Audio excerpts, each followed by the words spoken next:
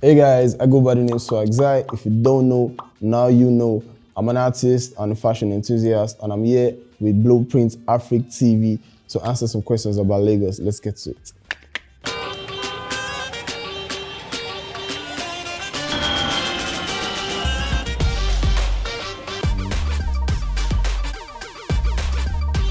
Um, I think nice life, basically the entertainment, because Lagos is like the entertainment hub of, to be honest, Africa. I'm not even going to lie.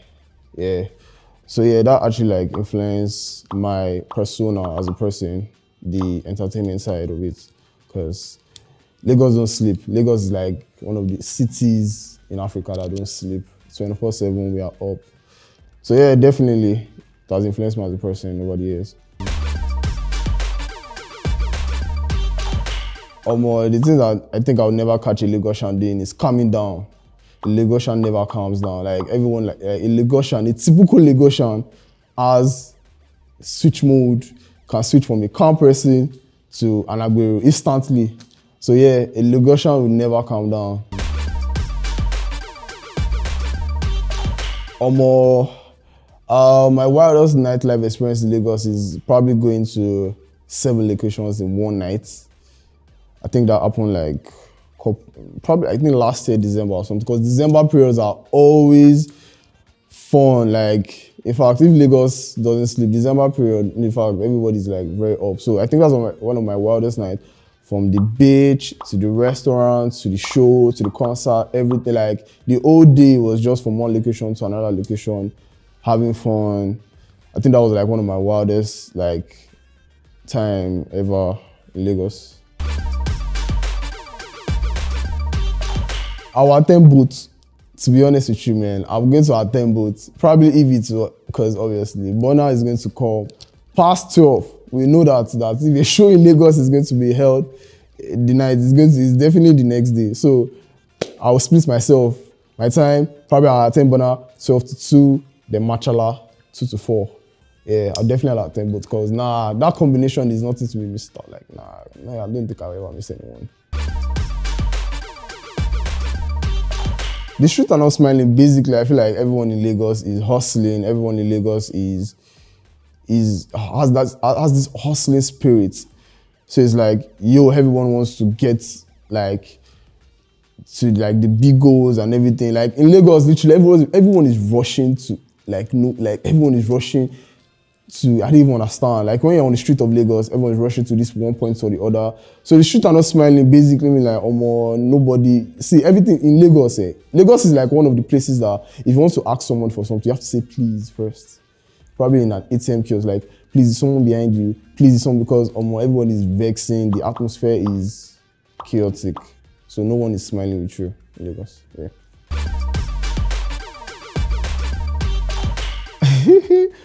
Okay. Uh, first of all, I was actually very stupid for me wanting to attend LASU when I was in secondary school. Because I used to think that, ah, Unilag people, they are proud now. I don't want to go to Unilag because uh, this video are too, I want to go to LASU. I think that's quite better or something.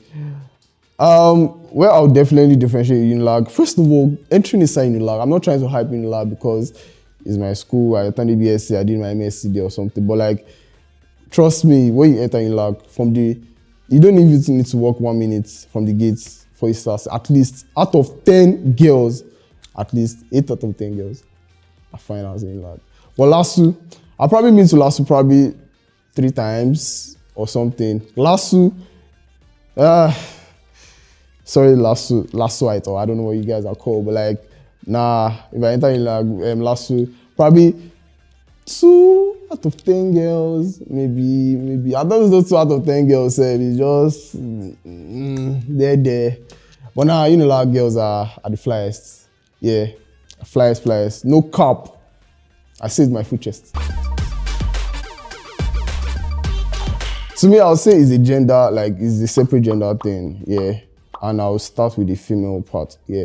I feel like friendships in Lagos for female part are mostly fake in terms of it's actually not really, really genuine. You see a girl wants to be friends with this girl based on she go out a lot, she wants to be popping on her snap, so she wants to be friends with her. Not genuinely, maybe she because she likes her or something, probably because they'll waka waka waka waka together and you know they'll meet one rich nigga or something or whatever. So I feel like for the female aspect now, nah, or maybe ah, this girl like dressing, I'll be able to borrow a wig, I'll be able to do this and go out and slay. So it's actually not really, really, really genuine for the female part. Then for the male part, yeah, I feel like to an extent it's quite genuine because to be honest, yeah, friendship. See something about guys, yeah, you might meet a guy, yeah, conversing with him for like the whole day, and you don't know this guy's guy's name. Ah, boss, chama, or something. You meet that guy. See, I've had friends or acquaintances that I've met a couple times and I don't know their name. Crocs. I, I, I honestly don't like Crocs. I don't honestly don't know why you wear Crocs on public trout or something. Like, it's a thing that they wear Crocs to even events, like, well, not even events, like probably nice level, like Owambe, something like the Crocs epidemic in Lagos. I'm not shading Crocs. Crocs, please, you can give my ambassador shit. I'm not shading Crocs. I'll say two of my records um, actually inspired by Lagos. One of them I'll say Kunkun Below, which is on my first project. That was my first um, EP in 2019 because Lagos, Yoruba people, let me to be precise, because like it's, it's the word southwest. So Yoruba people to be precise, eh, they love to party. Lagos in general, but you see the Yoruba people, yeah, they love to party. Yoruba people use a party to celebrate the success of another party. Like, like it is so amazing to experience. I'm telling you, like they'll block the road for everybody. Like so um, I feel like that, that record is actually inspired by because it's a Konko Below record, it had like percussions on it, the drums, the electric guitar, the lead guitar rather, and all like that. So that record was actually inspired by that Lagos Owambe life. Then I'll say another one mm, is my my recent record, which is called I Don't Know, on my recent EP, which is apparently my third EP, um, that I dropped about like a couple weeks ago the record basically about a playboy lifestyle, yeah. So in Lagos, like I said earlier on, we are sharing ourselves in Lagos. Literally, everyone is sharing. Everyone is just pretending like we're not sharing ourselves in Lagos, but we are literally sharing ourselves in Lagos. And that record was basically inspired by how like there's no love in Lagos. See, if you are looking for love, don't even try it in Lagos. I mean, yeah, in relationship in Lagos, people are just wasting your time because we are all sharing ourselves in Lagos. And that record was actually inspired on how I don't know what this girl wants from me. What she think we, we have or something basically it's about like me being in that toxic playboy mode based on the way Lagos girls have showed me Pepe. Because I've also chopped breakfast a couple of times. Lagos girls, don't worry, they'll serve you hot. And I think yeah, that record was basically inspired by the life, the youth's life generally in Lagos. How this girl is dating this other guy and dating this other guy and stuff like that. So yeah. And it was the Unilag girl. The Unilag that I've been praising, it was the Unilag. See, Unilag girls will show you paper.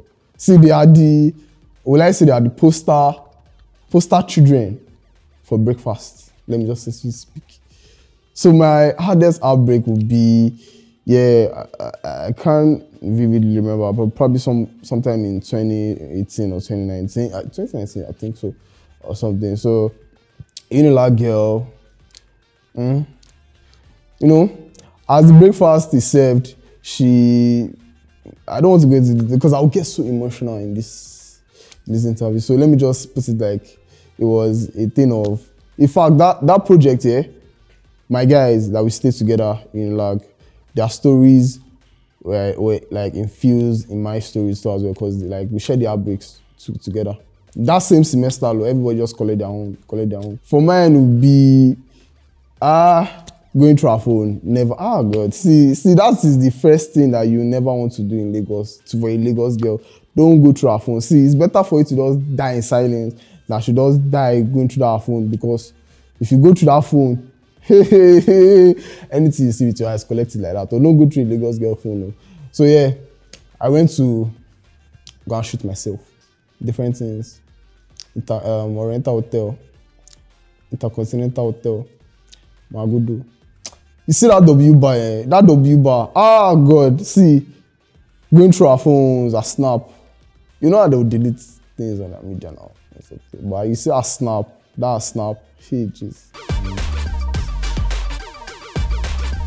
In my perspective, yeah, I say what we mean to have a Lagos Eye is knowing when to get some things.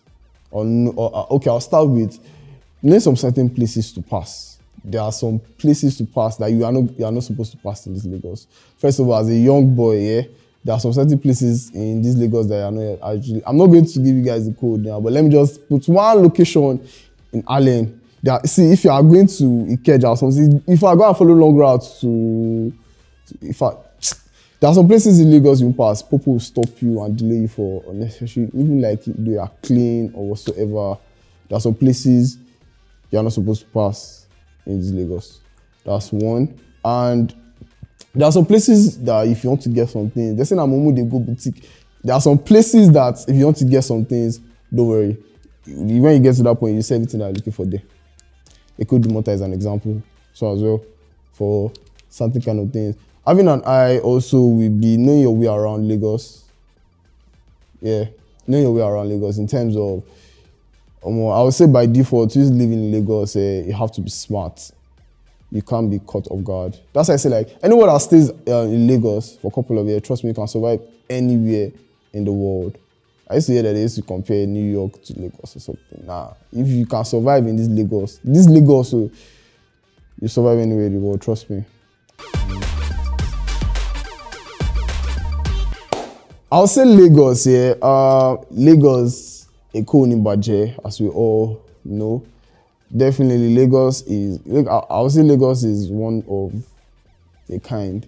Like, like I said, Lagos is literally like the best city in in Africa. So I'll say Lagos is like that that one city that you get anything in the world here in Lagos. Like if you drop a car today, trust me, come to the island. You will see you will see that car. If you they drop a phone, they drop any like innovation, anything. They say Tesla when they hey, Tesla, Tesla, Tesla. You know, oh, right? You see it on Lagos Road. In fact, you, you see it different places. Like Lagos is Lagos is a special place because um, definitely I would say things are here. I think it's Lagos that you get by with anything. Once you have money this Lagos, trust me, they used to say, oh, if you have money in Lagos, tank can fall on top of your head or something, something, something. Don't worry. If you have money in Lagos, you don't need to leave your house. Somebody will get something from you anywhere. Like Lagos is a special place, and I'll say maybe the bad things about Lagos or uh, one of because there's no place in the world that don't, doesn't have like the pros and the cons. So I'll say um, it is the overriding or the pressure, or no, I would say the pressure. I would say is the every man just wants to like show off to his like his fellow man, even like even this one doesn't have money in the account or something. Once like they just have a small power. Look at last month, for example. Ah, just those people on uniform. Like once you probably like did a mistake or if you like they probably just made that mistake that you should just do that mistake they'll show power like everyone just wants to use that little power they have over the next man and it's really really bad to be honest so i feel like that's like one of the bad things about lagos or something yo guys this was super super amazing i had fun the questions were really really really tricky but i love them to be honest like this was really really um interesting um lagos like they said, one of a kind of Kuni budget. Yeah, I go by the name Swagz.I. If you don't know, now you know. My new project, Diamonds in Broken Hearts, is hot right now. Buzzing. Go get it. It's out on every platform. Big shout out to Blueprint Africa TV, the best. Keep it locked. And, I, and I'm sure you enjoy my episode. By default, I'm sure you enjoy my episode. Thank you for watching.